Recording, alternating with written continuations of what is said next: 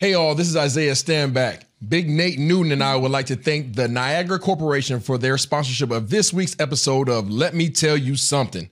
In case you're not familiar with Niagara, they're the country's leading manufacturer of water conserving plumbing products. Products that save real money, like Niagara's stealth technology toilets that reduce water usage by up to 60%. Niagara also works with affordable housing projects and commercial multi unit properties to save water usage in dollars where it's needed the most. So, if you want to conserve water and save money, check out niagaracorp.com.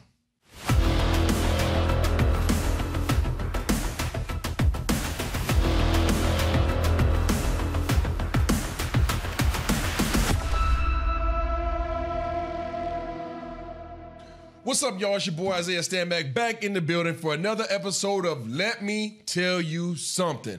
And it wouldn't be right if I wasn't here with my big dog, the only dog, Big Nate Dog. Yes, sir. Up, Glad, glad to have you back, Isaiah. Yeah, Where have you been, man? You know, I had to go down to the Super Bowl for a hot second. You know, yeah, down to yeah. check What, out what, some you of the just networking? always networking, man. You know how it is, Nate Dog. If you ain't networking, you ain't going nowhere. You know, Let, let- me tell you something. Yeah. It was a struggle without you. it was. It was a struggle trying to get in and out and trying to change the subject and go to one to another. all good. Don't do that. Don't leave me again. I got you. I got you. I met a lot of good people though, man. Yeah, yeah. I met a lot of good people down there. Uh, you know, right off the top, some of the people that stick out to me are people who are near and dear to my heart. Right. Um, and probably true, probably you, you as well, especially the era that you grew up in.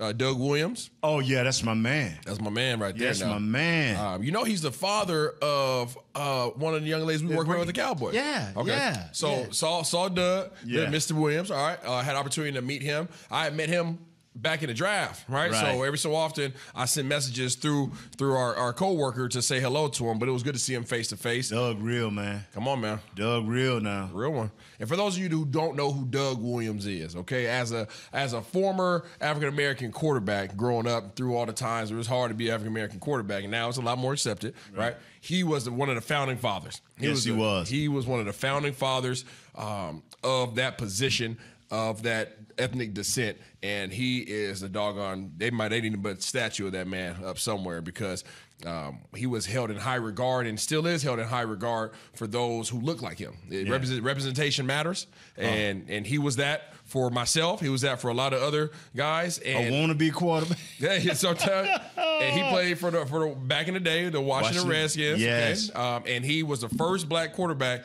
to win a Super Bowl. yes. All right? Denver. Yep. beat so Denver. you know Came who else? back. You know who else back. very Denver. instrumental to me? Who that? Warren Moon. One mo- went to Canada, Mm-hmm. played for the Edmund Oilers. Is I got that right? Something like that. Something like that. Edmund. But anyway, broke all type of records over there. But why did he have to go there? Yeah, because he was he was black. He was black. Yeah. So yeah. Warren Moon, okay, again, one of the founding fathers Well, of. African American successful quarterbacks. He was the guy that in college, he went to University of Washington. So he was the first African American quarterback at the University of Washington. And this Black History Month, y'all, so we're gonna give y'all a little bit of education. Yeah. The first black quarterback at the University of Washington. Right. I was the second. Mm. I was the second. So Right. I had a lot of conversations with him when I was going through my hardships at the University of Washington, trying to remain at the at the position. He didn't allow for me to leave. Right. Right? He didn't allow for me to leave. He spoke a lot of wisdom. He shared his wisdom. He shared his experiences, and it made my experience that I was going through look minute in comparison to what he had to go through. In Wow. order, in order to become a, a, a, a black quarterback at a big D1 university like University of Washington, he was having to go break in to the film room to send off his own VHS film. He was having to go break in, send off his film just so he can get recruited Wow. because the coaches weren't they weren't going to speak on his behalf. So he had to do that. So he did that. Had opportunity to go to University of Washington. From University of Washington, going into the NFL, trying to go into the NFL, they didn't want to let him play quarterback. They didn't want to let him play quarterback. So you know what he did? You just spoke on it. Well, yeah. He went to Canada. Yeah. Canada gave him opportunity. He went up there and did what? Lit it up. broke records. Won like six or seven Grey Cups. Tore the whole thing down. The Grey Yeah. Cup is there is the equivalent to the Super Bowl here in the Yes. states. So he went a longer field and a wider field. It feels huge. Yes. Rules a little bit different, but he went up there and lit it up. Proved himself. Right. Then came to the NFL after I don't even know how many years, probably six, seven years. Yeah. After breaking all the records in Canada, came to the NFL and broke all the other more records. It was one of the, uh, I can't think of the uh, coach was with him, but he was one of the founding fathers of the run and shoot, the running gun, who who because the league was fighting against that style of offense. Got you. And he was one of the uh, Yeah. him and that coach, I can't think of his name, but they would they lit up the they lit up the league, and now after that, the league started taking off. Yeah. with that type of uh, offenses that are re- prevalent today. Yeah, yeah, yeah. So I Warren Moon, I always kept my eye on him. He's always been soft spoken. Him and Doug. You would that angry black man theory does not apply to these Nope. these two guys. Soft spoken, well mannered, What- intelligent what, do you- guys. what do you think? Now we're on the, kind of on the topic. What do you think it it it took and it was really required of them to be that resilient during that period of time that they were coming up in? What what what is? I mean, shoot, you can speak to it. I I, I didn't grow up in that era. I mean, I grew up in a little bit, I, but I- you. I missed that era by a little bit. Uh, in the NFL, and I'm always reluctant to get into these type conversations because, uh, I, and I try to be very respectful because I don't want to uh, alienate other races. Absolutely. I don't want, but I'm not going to degrade mine. Absolutely. You so when I when when you when you in the league when I came into the league, offensive lineman was reluctant to let offensive linemen any position where they thought that you had to think.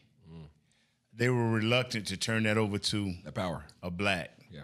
And so for a long time, even when we were being accepted on the offensive line, it still they wanted the center to be of a different race. And uh, a lot of that is, and, and- and people may not want to, a lot of that is being, was taught. Let, let- let me break this down to the babies do not come in the world racist or prejudice, whichever word you want to use. They get they two have two different meanings. Pres, uh, prejudice and racism, two different meanings, and you go look it up if you want to know the difference. But babies are not. They don't grow up and say, "Hey, mama, I don't like that black man," or "Mama, I don't like that white man." That's being taught. That's being taught, and and so when that's being taught, uh, it's hard to break because this thing has been taught. Yeah. Not for hundreds, for thousands of Absolutely. years. Facts. Biblically, Yep. it was taught. Yep. Biblically, it was taught.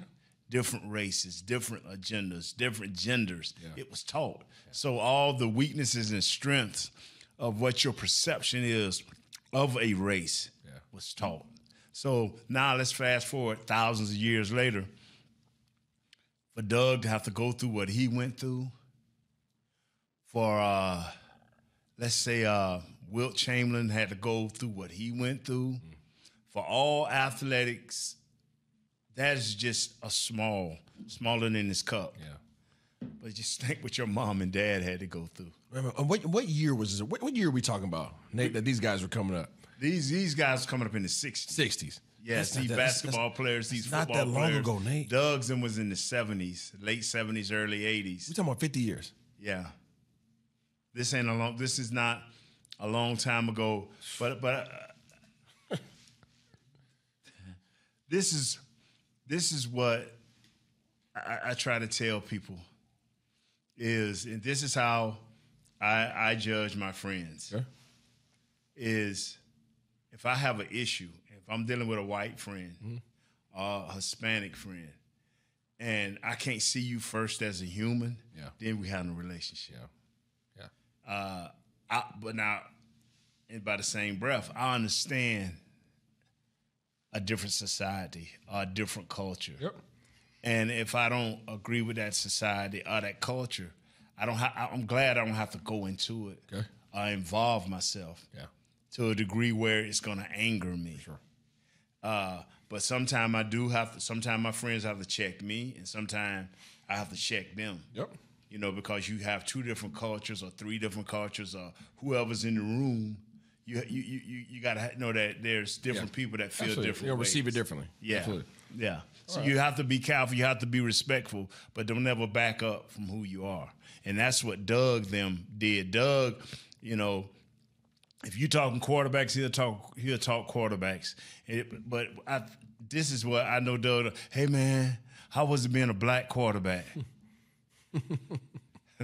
And then he'll tell he'll tell you like, look at here, I played quarterback maybe 15, 20, 30 years, but I was black the day I was born. So I've been black all my life. Exactly. Now you can ask me how it felt being a quarterback and some of the things I went through as a black Absolutely. quarterback. That's a different that- question. Different question. So I tell people, Yeah. when you when you're addressing somebody and they hold the same title that you see the other guy hold, Come on, man. ask them, Come on, man. hey, how how was it being a quarterback? Man, they- if you want to be specific, say how was it being a quarterback as a black man? You know, you want to know in relation to that statement. Yeah. That's a powerful statement you just made. The most appalling statement I would say that's ever been made to me mm-hmm. while I was playing quarterback, right? As a black quarterback at the University of Washington. I was competing against three other guys. Okay. All of which were were were white. Right. All of which weren't as talented as me. Right. I still had to prove it. Right. they weren't as talented as me. Going through the competition, I'm winning the competition in terms of trying to get the starting position. I had coaches come up to me, multiple coaches. Why are you being so selfish? Wow. I, looked at this in stretch lines. What do you mean? Why, why, why don't you just go? You know we need help at receiver. Why don't you just go play receiver? Hmm. Interesting. Did, did you ask the other guys that? Oh man, don't be asking me that crap, man. Stop being selfish, man. We need your help. I'm like, but but you're not asking the other guys that. Wow. Mm, I, I ain't. Wow. That that that would have hurt. Oh, it hurt. It That hurt. would've hurt, man. It hurt bad. But I didn't let them know it hurt. Right. So it got to the point I was receiving comments like that from the coaches, Right. from right, the coaches, Nate. Right. So often I stopped talking to them. I stopped talking to the coaches. The only coach I was talking to was my quarterback coach slash offensive coordinator. Only person I talked to. Mm, and, and and you know what? If you was to go to one of those coaches now, they'll probably be like, "Don't even." I don't remember that. It's absolutely, absolutely. And the only person, who, and there was there was times where I would go back. I'll never forget this. I was facing so much of that, mm. so much of those comments, right, making me feel like uh, you know, I, like like I'm being belittled, and Right, I don't right. I don't deserve to be in that room, right? Some of the things you were just talking about, right? Not not wanting to give like quarterbacks of African American descent that Right. kind of power and that responsibility. And um, I remember one time it was just overwhelming. I, I, I grew up in a tough in a household where my mom was like, "Hey, we don't show emotions. We don't. you know, ain't no soft. Ain't gonna be no soft player around here." You know, so I would bottle it all up. And I remember specifically one time I went back to my. um I was about. I was supposed to start. I was supposed to start against USC. I know. So I was supposed to start uh, against Notre Dame, Right. and they bumped me all the way down to third string. Bumped me all the way down to third string, and I had to sit there and take it. And they put our guys in the game. Uh, my other guys I was competing with, and they they were stinking it up. Didn't stand a chance. We didn't have we didn't have the guys up front to stop. You know, right, at that time, so they were they didn't and they didn't have the athletic ability I had, so they really had no chance. They were just sitting ducks. And the whole game, you know, our guys are sitting there, um, you know, asking me. I said, "Well, "Come on, why don't you get in the game, man? Come on, we need you. We need, we can't do this." I'm like, "This ain't this ain't my it's not my decision." Right. You know, but I'm sitting there having to watch my team lose, and you know, Right, we're- right. that's what we're brothers. You know what I'm saying? So, right. as competitors, that's another. That's one thing, and then those are your brothers out there getting their Right. butts kicked, and you know that you can help them, but you, you're not being put in a position to help them. So I'm sitting there just having to take all this from my from my teammates, you know, thinking that I'm the one choosing not to play. I'm like, nah, you know. So they put me in this this, this rough position of being accused by my teammates that I'm the bad guy, and it's really them. And then we get ready to face the number one team in the nation at the time, and they come in there and say, Isaiah, you're starting. So I have received so much conflict within the, within that locker room and within Right. the, the offices. I went to my car one day and I broke down, broke down, which I never, I never did, Right. never did. And I called my mom, and she knew as soon as she heard me crying, she like, what, "What's going on?" Because she know that's not my thing. Right. Man, she went up there. went went mama. Went angry black woman. Mom went up there with the strap and everything. Man, came up to the school and cursed out coach, and, and that's when I that's when I touched base with Warren Moon. We had uh we had a old school cat mentor, Right. just a man. I don't even know what his role. was. His name was Abner Thomas. Right, right. right. One of the few times I ever cried in my life, man, was Abner passed away about about six years ago, and. Um, Abner was like big unk. He would always he'd be he's the guy who was like, get them chains back, get them mother chains back. He was that guy on the sideline, right? He was just a the get back guy. the get back guy, right? He was he was the old wisdom just in the building. Right, that he's right. seen him come and go. he's seen everybody come and go. Um, so whenever you wanted some wisdom, or you just sit down and talk to old school, you know. Um, and he was there when Warren Moon was there, you know. So Yeah. I talked to him, and he got me in touch with Warren Moon. And Warren Moon took me out and, and took me to lunch and just and just talked to me because, dude, I was I was going through it, Nate. Wow, going you, you, it. you know, and that year was what year you was Shoot, that was 2004. See, you know, I'm- I'm- and I'm looking y'all right in the face. And uh, yeah, it ain't about let me tell you something. Let me tell you the truth. Yeah. Uh, I've been on the, the highest, and I've been to the lowest, and and and where I'm at now, it's called peace. And so, uh, with my Christian walk, I'm not allowed to hate Yep. and to har- and to harvest bad feelings. Correct. So, like I tell people, I forgive myself first. Yeah.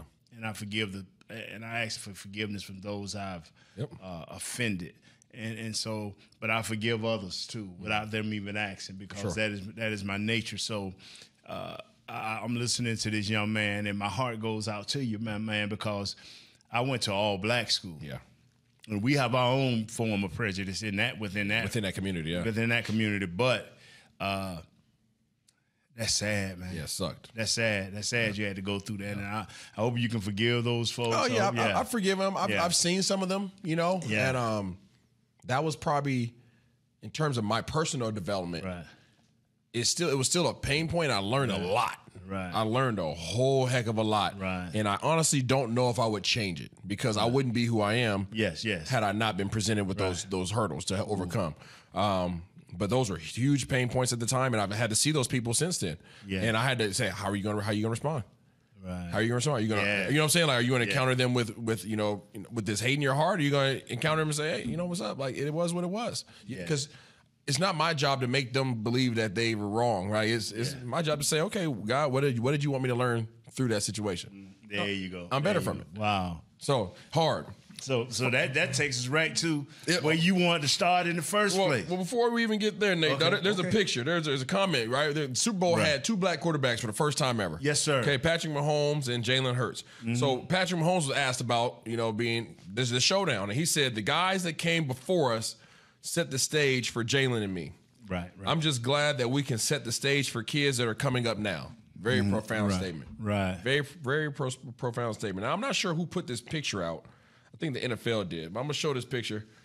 All right, I'm not sure if we can zoom in or not, but there it is. Okay. All right, there's a picture, and you see Patrick Mahomes right there. Okay, let me go ahead and go out. You see this picture right here, Nate? yeah, yeah, I see it, man. Okay, It got it, picture got got put out in the in the media, and there was Mm. one individual who didn't appreciate this picture. Who was that? Let me first let me tell you who's in this picture. Right. Repeat the statement. The guys that came before us set the stage for Jalen and me. Right. I'm just glad that we can set the stage for kids that are coming up now. That's Patrick Mahomes. Right. In this photo, Michael Vick. right. In this photo, Donovan McNabb. Right. In this photo, Doug Williams, Right. Warren Moon, Right. Rodney Peete, Yes. Jalen Hurts, and Patrick Mahomes. Right. So five former black quarterbacks Right. in this picture. You know who felt some type of way about not being in this picture? Who was that? Cam Newton. Yeah. Wow. Cam Newton was not in this picture. And a lot of people had a lot of opinions about that. Now, t- granted, take it for granted, these aren't the only black quarterbacks in history. Because they talked James Harrison. He's not in there. McNair's not in Yeah, here. yeah. Randall Cunningham's not, Not in, in here. there. Yeah, I a mean, lot. there's a lot of you know freaking um, uh, Daunte Culpepper's not, in. in There's a there, lot of guys that aren't in this picture. Right. What are your thoughts on him feeling some type of way that he wasn't in that picture? I- I just- Stewart. I, I, I- but you know what? Uh, he's been always a uh, a icon. Wherever Cam's been, Florida, he left Florida, went to Auburn, won a national championship, went to Panthers, and Panthers was already already kind of who they were, but he took them to a new level. Uh, I, I feel a little bit of his pain, Okay. uh, but uh, as long as he, uh, Do you think he should have been next man up in this photo? I, don't know about that. I, I, I don't know who was taking the pictures, and I don't know why. I don't- yeah, I don't know why they I don't know why they thought com- compelled, but the, the but Warren Moon and and Doug, Doug, no long question. them two in the picture. That you, everything's Yeah, I was there. I wish now James Harrison. Uh, yeah, I wish he could have been in the picture with, with, with the Rams a little bit. One of the true pioneers, helped start the Black College Hall of Fame. Yeah, I- now he should have been in there too. But uh, and I feel Cam. Cam has been uh, polarizing, and you know, and Cam is a forgotten guy. He is. He did. He This, is. this is what I've learned from Deion and Troy Aikman, and uh, Michael Irvin. It, somehow, whether they're up or down, you have to endear yourself to all people. Cam, Cam didn't endear himself to all people. Thanks. I'm, I'm telling you now, I've been through my bad times. Mike, I'm just talking about my teammates. Correct. You know, Charles Haley. But how do these guys still smart enough to endear themselves to the fans nationwide? I can go almost anywhere Yeah. in this U.S. of A. Yep. And somebody will look at me like, Yeah. you know, and then I say, yeah, yeah, let's leave that alone. You know what I'm saying? But you get what I'm saying? I understand what you're saying. So, uh, and, and Cam is a way more polarizing figure than I would ever be. Yeah. But he didn't endear himself to the. NFL. Somebody made a statement. This is just objective. This is just somebody somebody made the statement. They said Cam Newton is the best dual threat quarterback of all time. He could be. He could be him, Michael Vick. Uh, hmm. Who else would fit in there? I think Randall has to get in there. Randall Cunningham. But Randall to. Didn't always run just to run. He, No. you know, Cam and Vick for a long time. That was who they were. Who do you, who do you fear more, Cam Newton or Michael Vick? It's easy. It's an easy answer for myself. uh, me, the reason I, uh, re, I would like to see them at both their heights of intelligence when they could really throw the ball because Vick didn't can really throw the ball until he got with the Eagles. I would like to see Andy Reid with him at Atlanta. Vick was a little more stubborn. yeah. Cam tried to learn a little bit quicker, Okay. but you talking about sheer. Now you asked me about sheer talent. It's Michael Vick, bro. Absolutely. It, I, I saw what he did to Florida State almost by himself. So, that dude's a special. see, it, to me, sheer talent. When I'm looking at who can move, who can who can who can do it all, and if Michael Vick could have uh, made him see, this is one thing I, I understand about all men and all. Well, and I'm saying men in a biblical sense. That mean women too. Is you can learn what you want to learn. And for Michael Vick to cheat himself his first four years in the league the way he did, just think a cannon arm. This dude can get get on his knees and throw the ball almost 100 yards. Yep. And, and you not want to learn coverages. You had Dan Reeve as your coach. He would have taught you all you needed. Then he, had, then he had a setback. Yeah, then he had a setback with the animals. Okay. And then he came back and humbled himself. Correct.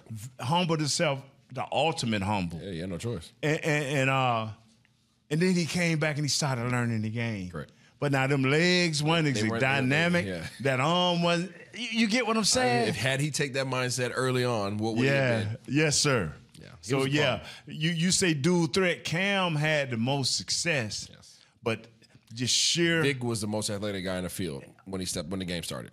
Not even a question. You know what? He is the only guy. And and uh I didn't see a lot of you, so I don't know your you know how good or bad you were. But the top two athletes are top three athletes. Just now, for sheer speed, nobody'll be better than Bob Hayes. Just straight line. Really? Yo. Straight line. rolling. Deion, nobody. What? The- uh, this is one time I will put Deion second.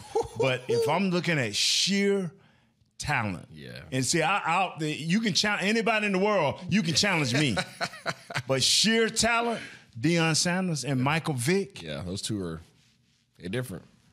Different. Come on, man. Yeah, I tell people all the time, created, not born. Certain individuals, God, yeah. hey, God made the rest of it. Well, you're not in this group, but God got the rest of us to put. The y'all, came, we came out of this dust pile. yeah. He said, "Hold on a minute, what over here?" over here. exactly. Yeah. There's a difference. Yeah, Absolutely. Yeah. Wow. All right. Yeah. So continuing on the Black History Month, okay. Um doggone it, Nate. It- you know what? Doggone it, Nate. You know where I'm going. But see, I'm gonna let me say this right here. Go ahead, say it. Let me say this right here. Red Auerbach. Huh? Thank you. Red Auerbach. Uh-huh. Boston Celtics. Yeah. Uh, GM and owner for a long time. Thank you. Yeah. Because he didn't he did not mess around. I want to thank um uh Bear Bryant.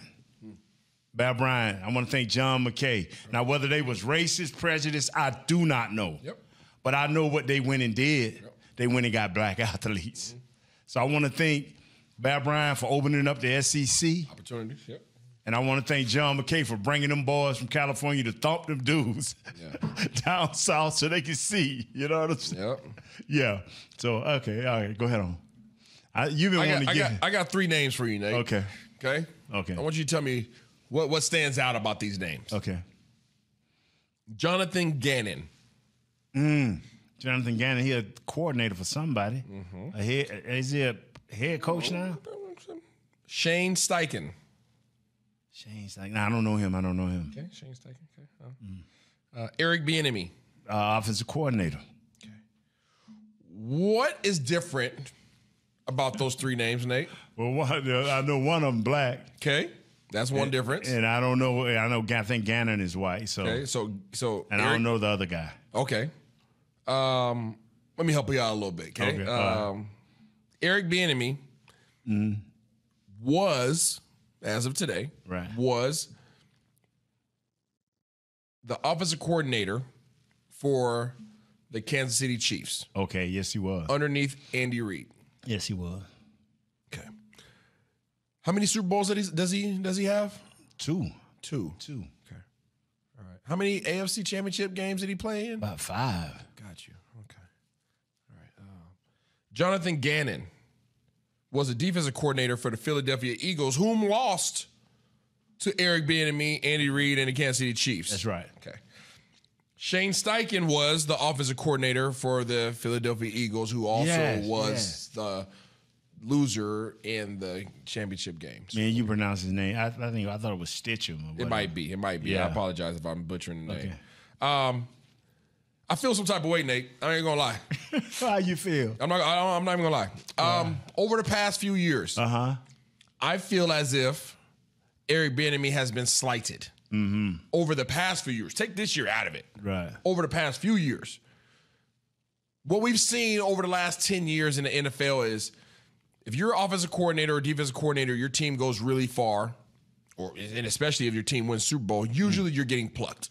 Right. Right. They're taking you. You're getting a head coaching opportunity, right. not an interview.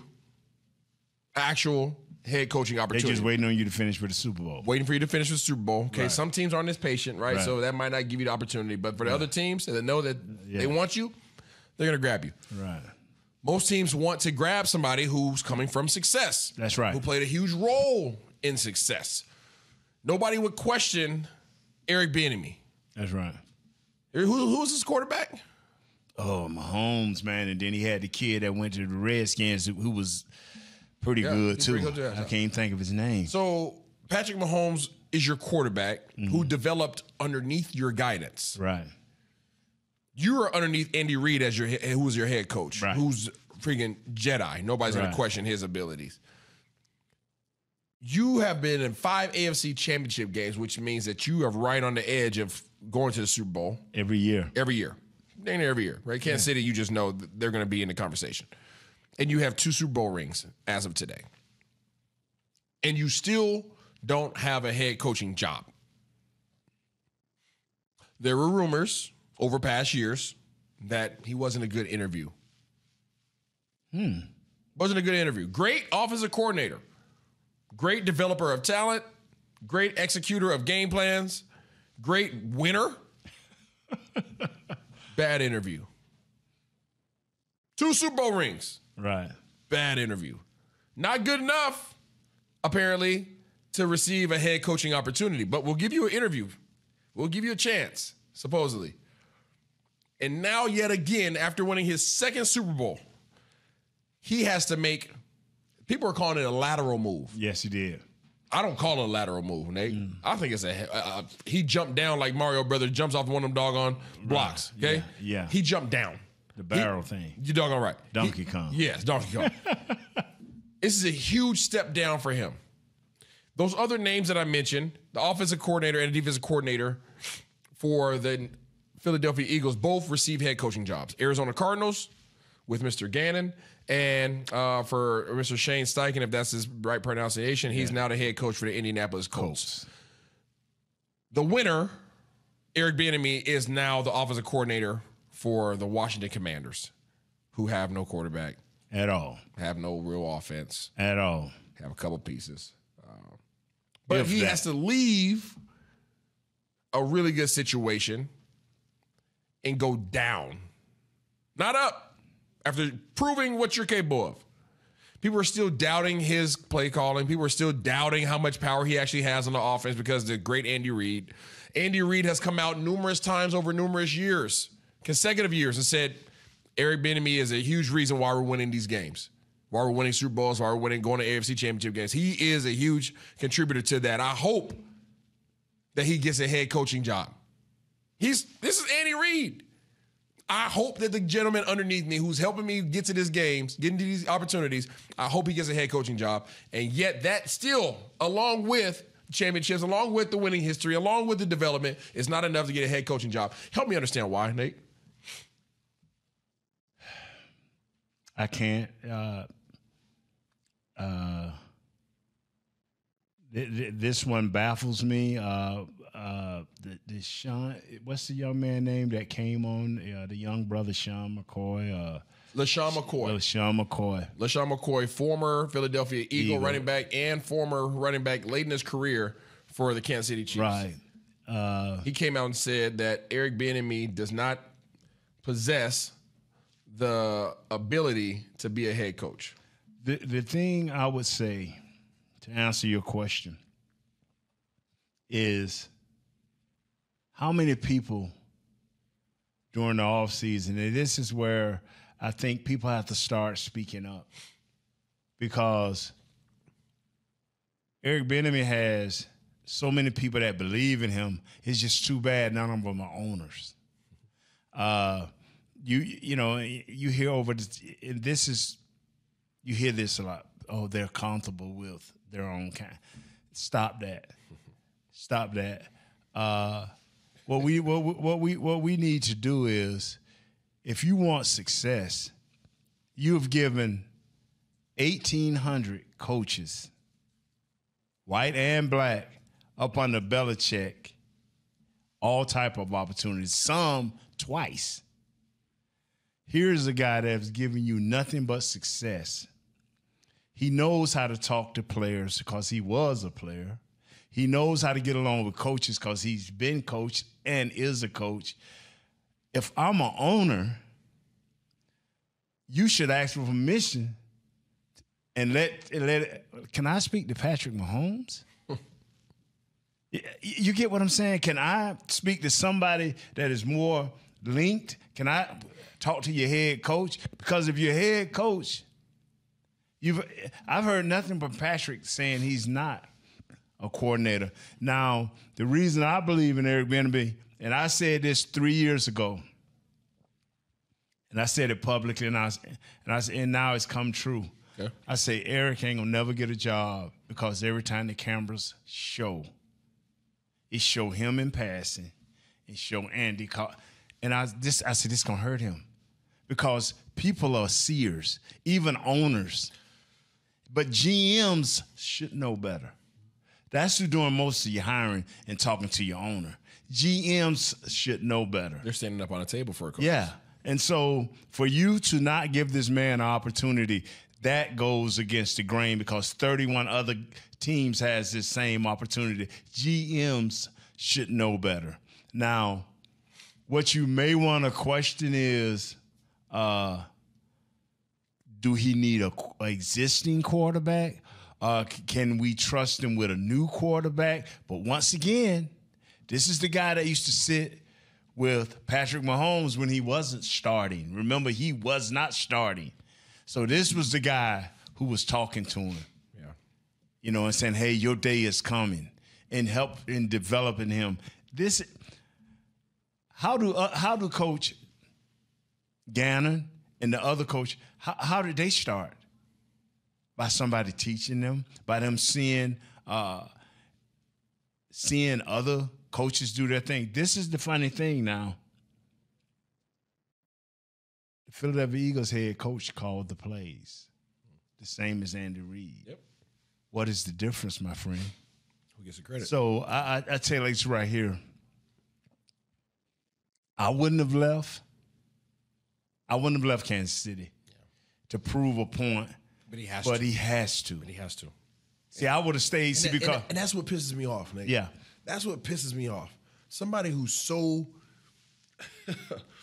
so dedicated to his craft, yeah, so good at his craft, has to has over had to overcome so much.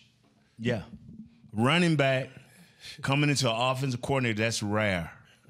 So that means he had to overcome a real obstacle just to get into that position. And you have to leave home Right. because nobody will give you an opportunity That's right. to build your own. That's right.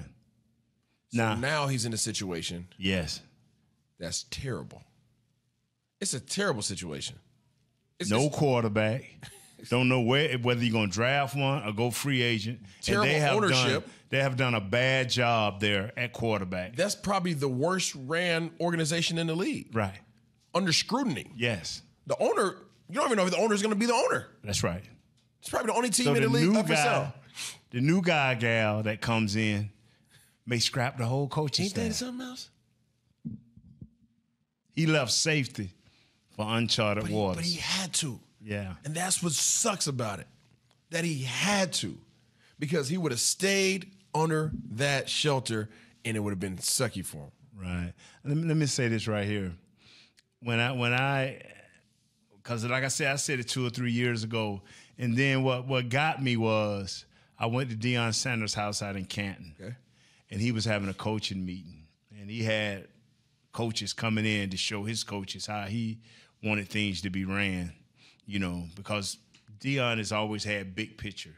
You know, he's like, hey fellas, I know we're at Jackson State, but we ain't gonna coach. Like operate like that, yeah. We ain't gonna operate. We gonna operate on this level. Correct. So he brought in a few coaches, Nice. one from Bama, and then he had he got this big old TV room, and he had uh, uh, Coach Eric Bieniemy. Oh wow. Oh yeah, he brought him in, and Eric was just breaking down things for guys and talking to guys, and that let me know right there. I say, wow.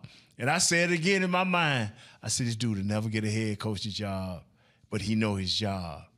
That's the sad thing. That's what bothers me. And then when my man LeSean, I'm not gonna want to pronounce his name wrong. When you say that right there, you and you haven't done your homework.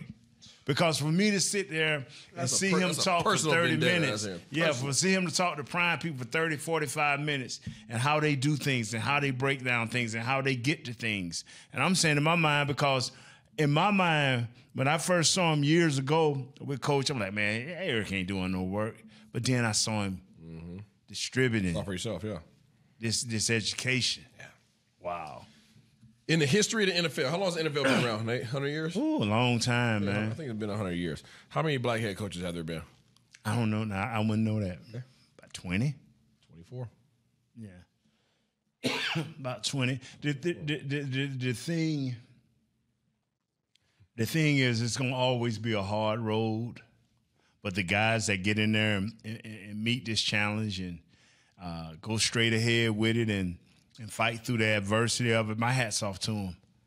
Because I, I don't know. See, like what you just shared with me about your experience at Washington. See, you almost make me don't want to cheer for your team no more. And you down with you, though. Uh, every time I turn around, People you that rock, the people that are running it now. Yeah, people are running it now. I got it right, you know. Um, yeah. It's frustrating. It's really frustrating. Uh, Wow.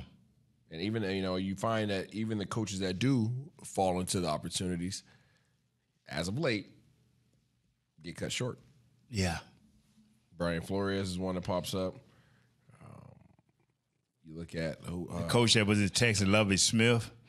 You know, and and I and I, I want to believe these owners, not not the Flores deal, but I, I want to believe that the owner for Lovie said, "Hey man, come give me this year." I I, I just want to believe that he he told him that, you know, because Lovie was in and out of the What about Steve Wilks? didn't even get to know him. Steve Steve Wilks came in there Yeah, didn't even get to know him. and, and they started getting W's. Team started turning around. But as soon as the job's up for, nah, appreciate you.